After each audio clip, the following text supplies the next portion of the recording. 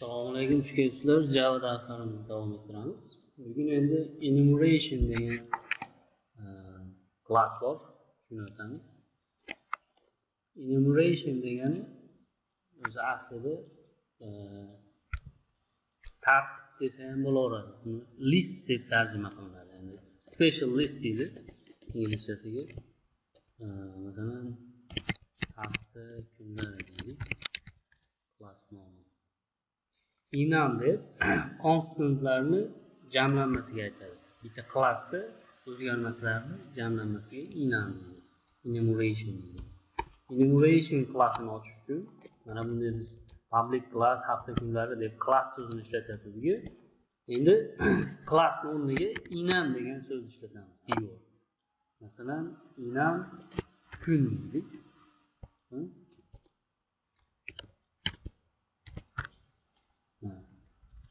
Inam kun inam klassi ochildi enumeration class endi buni ichida faqat constant o'zgarmaslar turadi o'zgarmaslarga masalan hafta kunlari hech qachon o'zgarmaydi to'g'rimi? Oy nomlari o'zgarmaydi yoki ranglar o'zgarmaydi. Xuddi shunaqa e, kattaliklar kattaliklarni kiritib qo'yish mumkin. Masalan bu yerga e, bitta tomoni bor. Hamma harfi katta harfda bo'lishi kerak. Masalan biz bu yerga hafta kunlarini kirityapmiz hozir. Üçşembe, Sişembe, Çorşembe, Perşembe, Cuma ve Şembe demişiz. Ve bunu inan klasını. Mana bu main klasni ichida foydalanamiz masalan bugungi kunni olish uchun biz hamda yozishimiz mumkin shunday turib bugun deymiz va kundan bugungi kunni chaqiramiz bugun juma ekan ulug' kun juma endi system print out ichiga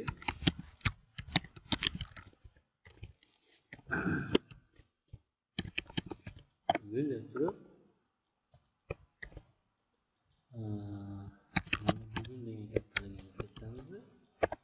Koyuyorum.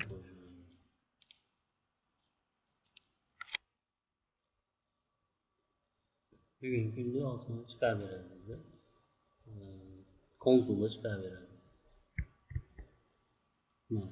Cüme enumeration degan klassdan kelyapti. Hop. Endi keyingisi bu endi e, klassni ichida klass bo'lishi ham mumkin. Masalan, e, public class after deb turib inner class bo'lib kelishi ham mumkin publicni olib tashlaymiz bunday holatda to'g'ri hisoblanadi ishlatsa bo'laveradi inner class bo'lib kelgan holatda inner class bo'lgandan keyin endi mana bu hafta bilan chaqirishimiz kerak Döş yerinde hazır. Böyle önemli geliyor. Altta dekorcumuz gerekli.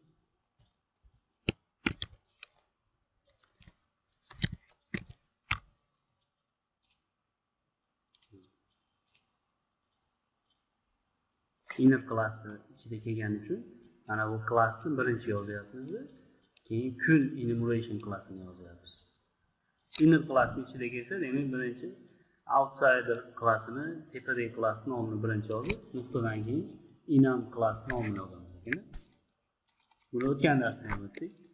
Menimcha bu tushunarli. Endi keyingi masala masalan hamma e, enumeration ichidagi hamma e, variablelarni chiqarmoqchi bo'lsangiz o'zgaruvchilarni chiqarmoqchi bo'lsangiz e, loopdan foydalanishingiz mumkin. Masalan Arabamızı oğlu koçamızı kümliğimizi kümlerimizi ee, hmm, kattalayacak ve arabamızın kümliğimizi value'si yani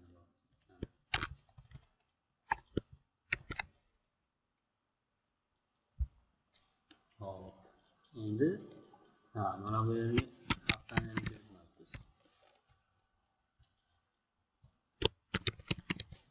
inner class ಕೋನವನ್ನು ಆ ತನಕ ವಿಸ್ತರಿಸಿದೆ ಎಂದು ಅನಾದಿಗಳಿಗೆ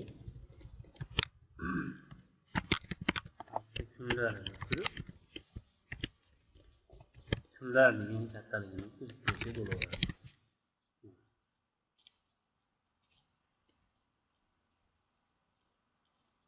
Hamas'ın öne çıkar veriyor. İnandıkçıdaki ham veriyorlarını çıkar veriyor.